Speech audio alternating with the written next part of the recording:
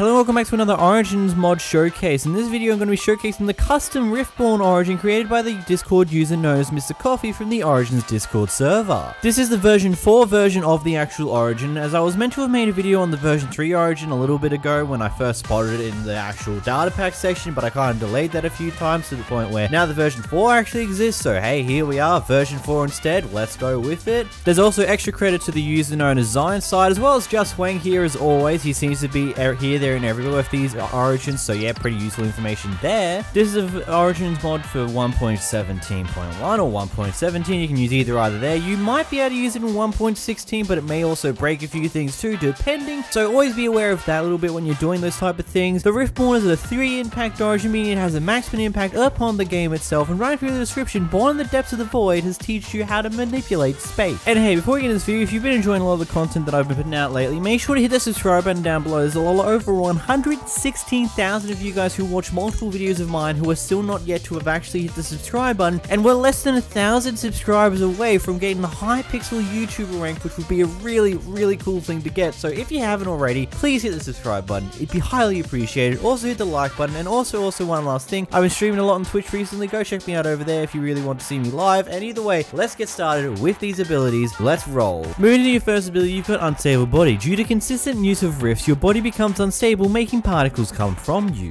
With this passive ability, your body is slightly transparent in comparison to the normal Minecraft user, as well as you've got the Enderman particles coming off of your body. So you know those purple particles that come off of Endermans in Minecraft and all that? Yeah, you pretty much have those particles vibrating off of you at all times, so it's just a little bit of interesting aesthetic to be added to your character. Moving to your next ability, you've got the Rift ability. This is your primary ability, which is always binded to G by default, but you can always change it in the settings. Same with your secondary ability. You can create a rift to another dimension, becoming immune to any type of damage but being unable to interact with some things. Now, when you use this ability, you stay in the same dimension that you were in beforehand. Let's say you're in the overworld, you'll stay in the overworld. If you're in the nether, you'll stay in the nether, and in the end portal, you'll be in the end dimension still. But what this ability does do is put you in a different pla dimension plane. So you're still in the same dimension essentially, but you're in a different plane of existence, meaning things are slightly different for you. You can still break blocks normally like you would regularly would be able to, but you are able to phase through blocks while in this ability, but beware, if your timer runs out while you're in this ability and you're in the ground, you will unphase and you will suffocate to death, so be very aware of how long you're able to be in that ability form. 4. Mobs are unable to attack you whatsoever whilst in this form either, as well as you're unable to place blocks whatsoever. You can still attack things yourself, you can still attack mobs and things along those lines whilst in this other plane of existence, but you can't get attacked back, as well as other little bits and pieces along that line, as well as the fact that you get given slowness while in this dimension, as well as everything goes grey. Capiche? You get the gist of that by the basic similarities of it. I'm pretty sure that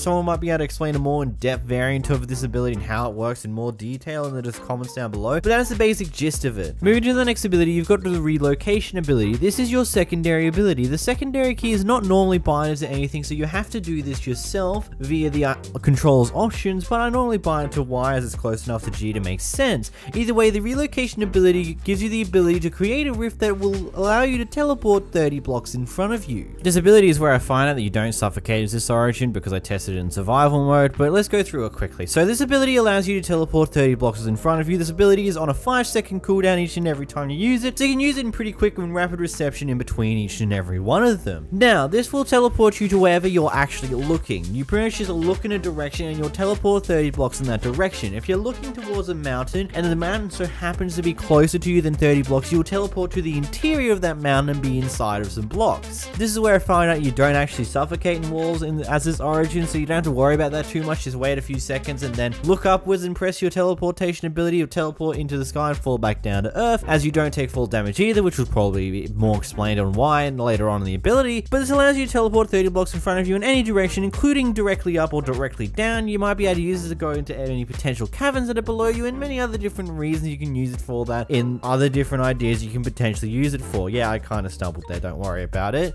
Moving to your next ability, you've got the wormhole ability. Now, this is another one of those active abilities that require you to press a button, but it doesn't exactly need you to get the extra keybinds for the origin stuff mod.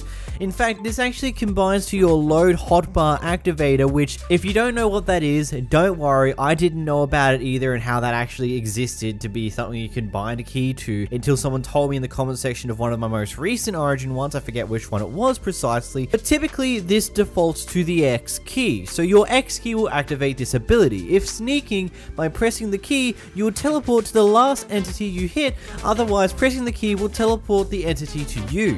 This kind of works in a similar vein to what the Puppeteer has, where you can have the ability to teleport entities towards you. This time around, you can use, you can hit an entity, you can move away from it, and then when you're shift and holding X, you'll teleport back to the entity, but when you just press X without holding shift, the entity will teleport to you. This could be a good way to have some form of a scapegoat get, just in case you get into some form of fight or anything along those lines. Let's say you accidentally fall into the void in the end, you can just hit the X key, you can hold the shift and X key to teleport away to maybe an entity, an enderman that you hit above the ground in the actual end island itself, or maybe some other bits and pieces along those lines. You can use it to teleport faster around when, let's say, you hit a mob at your actual base, you go over to your friend's base and you use it to teleport back to your base. You can use it to move mobs around. Let's say you need to get a zombie up in an iron golem farm, you need to get a villager up into an iron golem farm, you just hit the entity once, uh, make them a little bit angry and teleport them up to this area where you want them to go, and so many other useful beneficials that you can do with this ability. Moving into your next ability, you've got the Rift Dodge. Now, this is a passive ability. Thanks to your ability to rip space, you can dodge some attacks. Now, this does have a certain like amount of times that you can use it before it actually runs out entirely, which is about five different, five to four different hits you take it at a one point in time. It will deplete the bar entirely, and you have to wait roughly 30 seconds to a minute before the bar goes back to full yet again. But whilst in this ability, you will take absolutely no damage whatsoever until the ability runs out, and then you'll start taking damage to whatever mobs are around you that will start hurting you. Moving into the next ability, you've got the Life Void. Ripping space has its consequences, making you have only 8 hearts instead of the normal 10 that a Minecraft player has. This one's pretty self-explanatory, you have 2 less hearts than normal. Moving into your next ability, you've got shields. Due to your combat style, you cannot use shields whatsoever. Again, pretty much the same as most other origins that have this ability where you just can't use shields. Shields are non-functional. Everyone understands how this works by now. It's the same as it always is. Moving into your next ability though, you've got exhaustion. Creating rifts takes up a lot of energy. Practically speaking, this just allows your hunger to go down a lot faster than the average Minecraft player. So always keeping that in mind. It's not exactly too drastic of an increase like some origins have. It's just a noticeable one that you'll see where your hunger bar slowly ticks down a little bit faster than what it would normally do. Moving to your next ability, you've got hydrophobia. Because you've got unstable body, water flows through you unlike normal players and it actually hurts causing you to take damage in water. Yes, this is the tried and true method of taking damage in water like a lot of other origins have taken. This ability also functions while it's raining, so be wary that if you're in rain, you will take damage, so get the hell out of there as soon as you can. Moving into your next ability, you've got Flammable. You're not familiar with fire, therefore making you panic about it whenever you're on fire. This is just layman terms for you take more damage when you're on fire. Moving into the next ability, you've got Unstable Body 2.0. Choose your instability, you need to have tough armor to hold it together, meaning that you need armor that is better than iron, meaning that you're only ever able to actually wear diamond or netherite armor, and there is no other armor that you're able to use as this origin. Which, hey, it's a different change to what people mostly do with armor nowadays in the Origins mod. Anyhow, let me know, what are your thoughts of this Origin? What do you think of it? Let me know in the comment section down below. As always, you tell me your opinions. Do you think it's overpowered? Do you think it's underpowered? Do you think some changes could be made? What do you think of this Origin? As always, a massive thank you to my channel members, my $25 channel members, Hollow the Void, and Saturn, as well as my $10 member Decept, as well as all the other channel members we have. There's over 70 of you guys now, and I really, really do appreciate the support from all of you guys. Make sure to hit the like button down below if you haven't already, subscribe if you haven't already. Until next time, guys, goodbye!